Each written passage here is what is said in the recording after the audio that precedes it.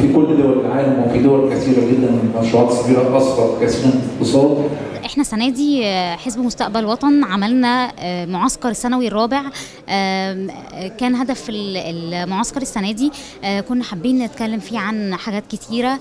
كنا حابين ندي توعية سياسية بنشأة الحزب بأهداف الحزب. اتكلمنا عن توصيات كمان إحنا من ساعة المؤتمر مؤتمر الشباب اللي اتعمل تحت رعاية الرئيس عبد الفتاح السيسي كنا اخذنا توصيات أو ساعتها بعض التوصيات ابتدينا نشتغل عليها إنه أمانة الشباب عندنا تنظم مع بقية أمانات الشباب في كل الأحزاب ونبتدي على أساسها نعمل تطبيق للتوصيات.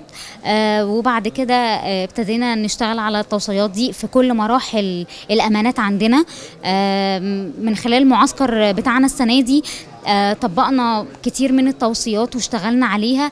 الحاجة الأخيرة أنه إحنا كمان آه عندنا آه ورش عمل هنشتغل فيها بكرة عن الإعلام وعن دور الإعلام وعن تحديات الإعلام وإيه الحلول المفروض تكون متواجدة والمساق الإعلامي والمفروض كمان إيه المعلومة المهمة أو إزاي أجيب المعلومة الصح من مصدر الصح ما ما أجيبش أي أخطاء أو أي أخبار شائعة وأشيرها للناس علشان أنا المفروض أبقى مصدر ثقة بالنسبة للناس.